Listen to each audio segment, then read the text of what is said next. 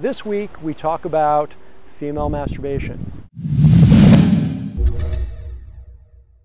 So is there a right way and a wrong way for women to masturbate? Should women masturbate?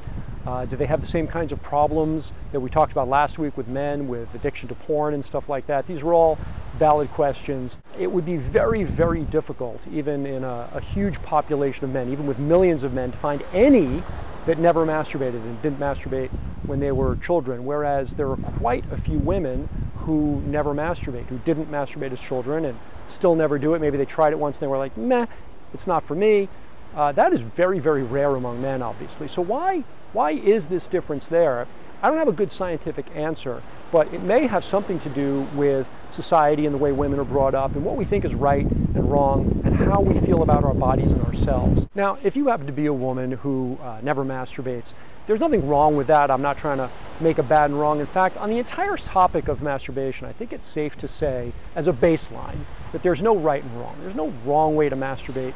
But it is worth considering the things that you do in your life, everything from how you conduct your career to uh, the food that you eat, uh, and all the way to your sexual habits, your masturbatory habits, and consider is this serving the life that I want to have? Is this serving uh, the way I want my life to work?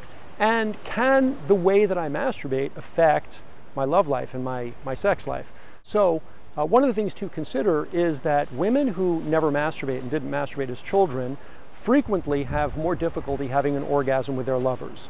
And that is something to consider. So if you're a woman that doesn't masturbate and you're a woman who has difficulty achieving orgasm with your lover, then you may want to start experimenting with self-pleasure. Now, if you've got a great sex life with your lover and uh, you orgasm regularly and you're both satisfied, this obviously doesn't apply to you. However, uh, if you feel some shame around your sexuality or if you have difficulty getting pleasure from intercourse or from sex, then you might consider uh, becoming more familiar with your own body and using that as a vehicle to uh, erase shame and just become more familiar with yourself. Probably the highest leverage point in adjusting the way you masturbate or in learning uh, how to touch yourself and how to pleasure yourself is to not be too goal oriented, not to be in too much of a hurry. For a lot of women, I think that um, the entire act of self pleasure has been reduced to a race to the fastest orgasm so that I can get some stress relief and feel better and go on with my day and not feel sexually frustrated. And for a lot of men, that's true too. And I think you're cheating yourself of an enormous amount of pleasure, but you're also cheating your future lover out of a certain amount of pleasure because sex and lovemaking can also begin to pick up that character that you developed as a habit during self pleasure which is that habit of rushing to orgasm. And then things get frustrating because you're, you're very goal oriented. And the more goal oriented you are when you're making love, the less likely you are to actually have a satisfying sex life. So if you want to start to uh, become more sensitized to yourself and your body and the things that you like and the things that give you pleasure, consider not rushing to orgasm, but just uh, allowing yourself to be in a state of sensuality and self pleasure and just figuring out what feels good and doing that for a long time. It doesn't always have to be about orgasm. And then the ultimate extension of that, and I think where women uh, run into trouble with masturbation in a way that can seriously adverse, adversely affect their sex life, is vibrator addiction.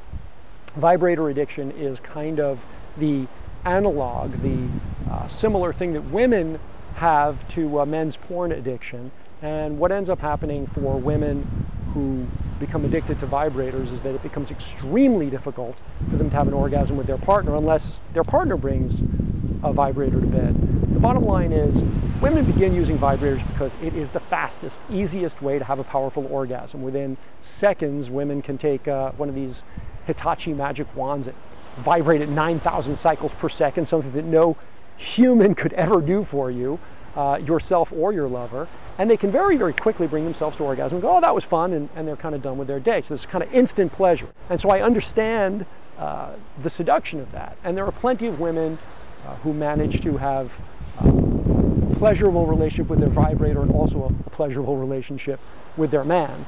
But like like with a man who is constantly masturbating with pornography, not being able to then uh, ejaculate when they're with a real woman because they're used to a certain way of reaching stimulation. They have this neurological process that's been mapped and mapped and mapped and dug over and over again so that now this is the only way that they can ejaculate. It's exactly the same for women. If you're constantly using a vibrator and you're using it frequently and you've used it for a long period of time while you were single, and particularly if it's the first way you ever had an orgasm, you can easily uh, over sensitize yourself uh, to the point where you're desensitized, where your clitoris is desensitized, and it becomes extremely difficult for you to reach orgasm in any other way.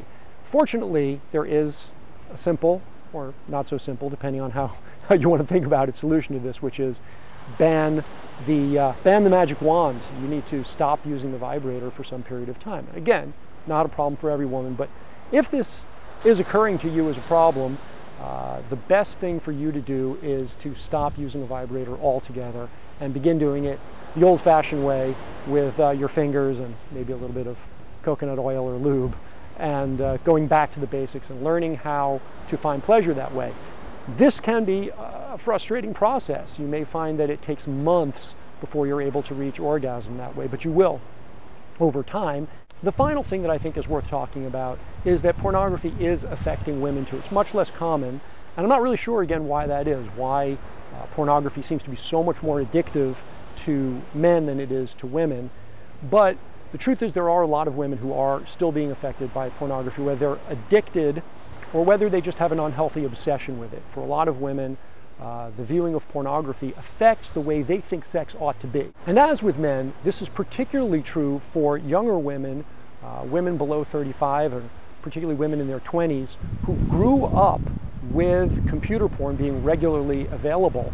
And their first sexual experience, the first experience of what was a turn on, instead of being you know, some uh, uh, Disney princess being swept away by the charming prince and then having these kind of feelings that they didn't quite understand. Instead of that, they're actually, you know, maybe uh, at a very, very young age being exposed to full-on hardcore sexual images.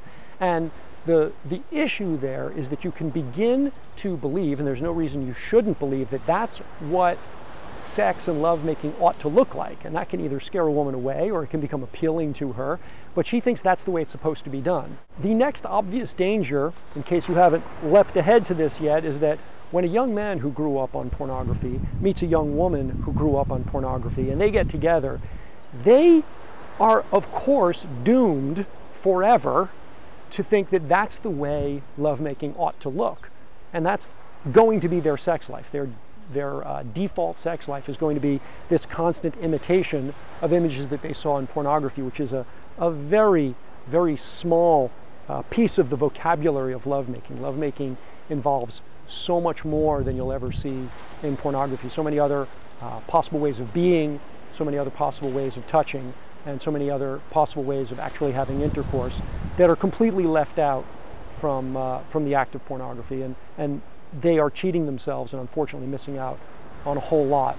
So uh, if you're a woman who was imprinted that way on pornography, uh, I really recommend that you at least give some thought to the possible ways that you could have pleasure in a, um, uh, a more emotionally rich environment. This is Alex Allman with Revolutionary Sex, uh, wishing you a, uh, a great sex life with your partner and a great, rich, and satisfying uh, sex life all by yourself.